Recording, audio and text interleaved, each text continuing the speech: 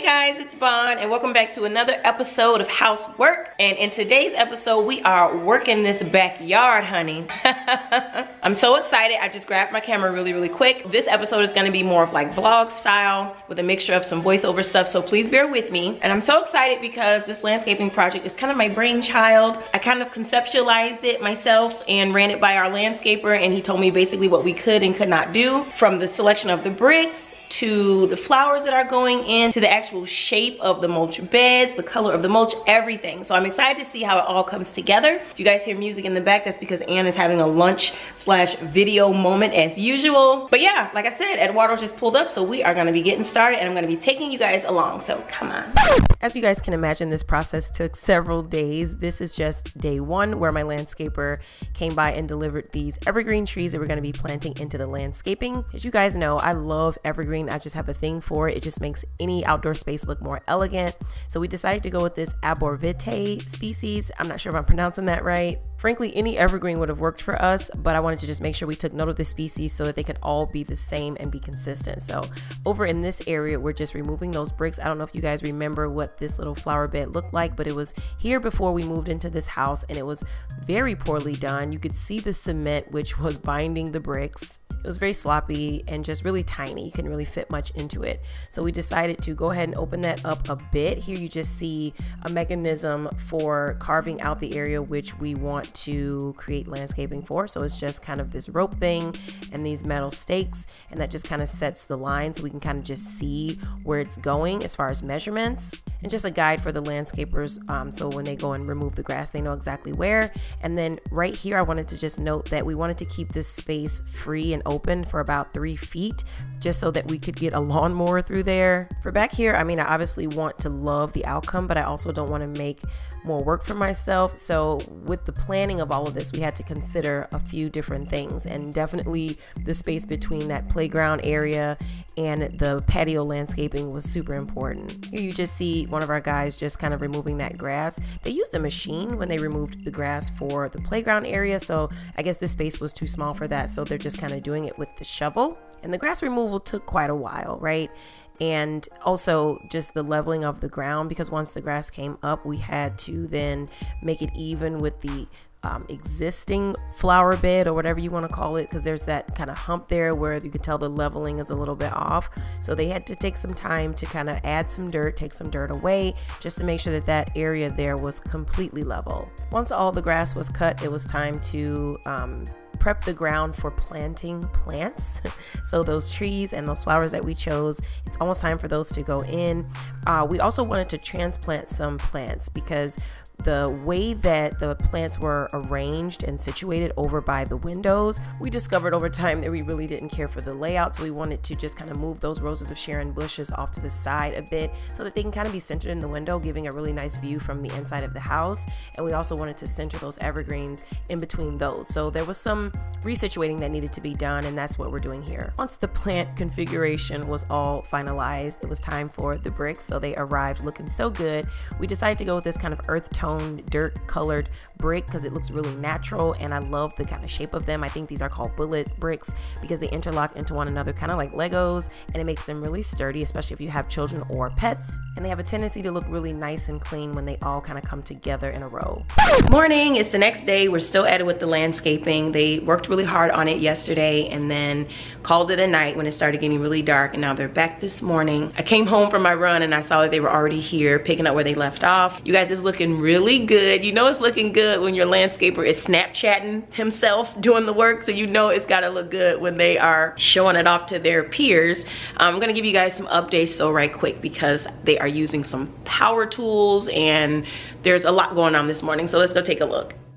So yeah, hon, I went outside. I'm like, what is this noise? So Eduardo was actually cutting one of the bricks down to make the edge really precise for a particular area where it kind of met the concrete. So I love that. It actually came out looking really clean. So today is the day that all the plants are officially in and we're putting down the landscape fabric. It has multiple benefits, right? But I think the main one is the weed barrier. Dad came over and he was very impressed with the precision and straight lines of the landscaping job. There's that area where that brick was where I told you guys they cut it it very straight. So it looked good going up against that concrete, turned out really nice.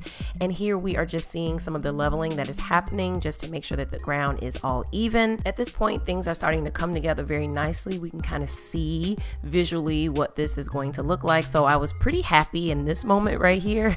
and as with any project with this house, right, it's always a good day when my dad approves the work. And later on this same day, we see the landscape fabric going down. Pretty much they just cut this thing to fit and reinforce it with some metal stakes. There are some areas where you may see a little more metal stakes than others just for reinforcement, but for the most part, they just surround the plants with it so the weeds can't get through. After the mulch went down, the job is pretty much finished. I was advised by my landscaper to begin watering all of the plants as soon as possible and to continue doing that until the roots take. This is the best chance of them surviving the season, especially the ones that were uprooted and relocated. They are at higher risk of not making it through the season this is actually the part that's most stressful for me. My mom was laughing at me because I was like, I don't want any of them to die. But at the end of the day, we bought all affordable plants. So if some of them or whatever don't make it, we'll just replace them. Not a big deal. And you guys will kind of see later the issues that we're having with one of these evergreens. So keep watching. Y'all know me with these solar lights, okay? I went to Menards and got this four pack. These are really good though. It's got quite a few lumens, so they're pretty bright. I'm just gonna pop some of these down into the mulch just to add some nice ambient lighting. So I'm using a hammer so I can get this stake through that really thick um, landscaping fabric. It's super thick, you guys. So once I get that stake down in there, I can just go ahead and pop that light right on top. I went with this kind of bronze colored solar light fixture, but I think I could have also gotten away with doing a black one. So there are definitely some options with complementing this brown mulch. Now, as we prepare to take a glimpse at the finished product, let's be reminded of the before, all right? Let's remember for a moment how empty this yard was really looking. Even with the patio furniture additions, there was still something missing, and I think we nailed it with this landscaping. What do you guys think? It's obviously not perfect, right? But it is perfect for us. I think I just really wanted a cozy kind of border around the patio to kind of define the space a little bit more, but also space and an excuse to house more plants. So let's start with the view coming down out of my back door onto this stoop. I added some lanterns back here, which I love so much when they're lit, and then some little fake topiary uh, plants there. Now, I want to remind you guys what this little flower bed looked like before, all right? You see those bricks, you see there's no mulch, there's just kind of weeds everywhere. Here we have doubled the size of the flower bed, making it conducive for a small tree and some shrubs. We separated and spread out those daylilies so that we could have more of them. And we relocated those roses of Sharon for some nice symmetry as well as a great view from inside the house as well as from the patio. It's kind of the end of the blooming season for those roses of Sharon, so they may not come back until next year, but they are perennials as with all of the plants that we chose for this landscaping job. So we're not too, too worried about the flowers. We are, however, worried about that one evergreen tree right off of the patio. That one is doing pretty poorly right now. We're going to try some different life saving measures on this thing, but if it continues to die, we will be replacing it. A few other tweaks to the existing patio. I relocated the fire pit, you guys, and I'm so excited about its new home. It's right here in the center of the mulch area that we left empty. I'm considering putting this thing on top of a paver or concrete block, but that will come once I am 100% sure that the fire pit will stay here. And you guys will notice that I'm incorporating a lot of solar lights and lanterns into the landscaping itself. I absolutely adore that. I just think it's a great way to make your landscaping a little more interactive, kind of make it work for you a little bit more. It also absolutely complements the flowers, especially at night. And with all these plants, they're going to get bigger, right? These shrubs are going to grow to about two feet tall. The trees are not going to exceed maybe six and a half, seven feet. And all of the flowers that you guys see are perennials, like I mentioned, so they are going to multiply every year and get a lot bigger and take up a lot more space. So that's why we have them pretty spread out. Because of the new landscaping, I feel like I'm able to spread my furniture area out a little bit more and get a lot more space out of the deal because I don't feel like, you know, I'm losing that cozy vibe because it's been redefined at this point. So now the cozy parameters, if you will, have extended far beyond the pergola posts and now exist all the way to the edge of that concrete. And I don't know if you all remember my patio reveal video from last year. I will link it for you if you haven't seen it to get yourself all caught up. But you may recall those little stools underneath that table. I was able to actually pull one out now because I have more space and use it as an ottoman for my chair, which I love so, so much. So now that you all have seen the daytime look, it's time for the best part, which is how this thing looks at night.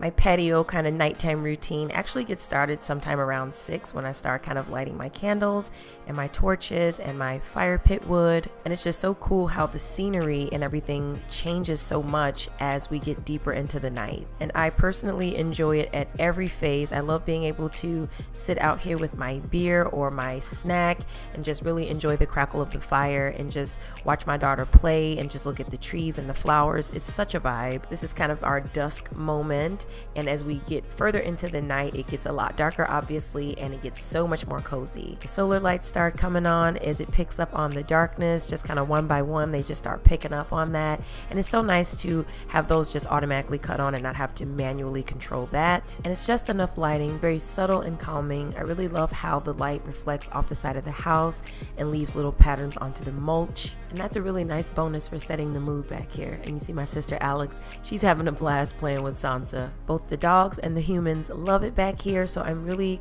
excited about a lot of the upgrades that we've made to this backyard. You guys let me know what you think down in the comments below. And if you haven't already, definitely check out my House Werk series. There is so much more to come as we are always working on this house. And as always, thank you guys so much for watching, and I will talk to you in my next one. Bye, or better yet, good night.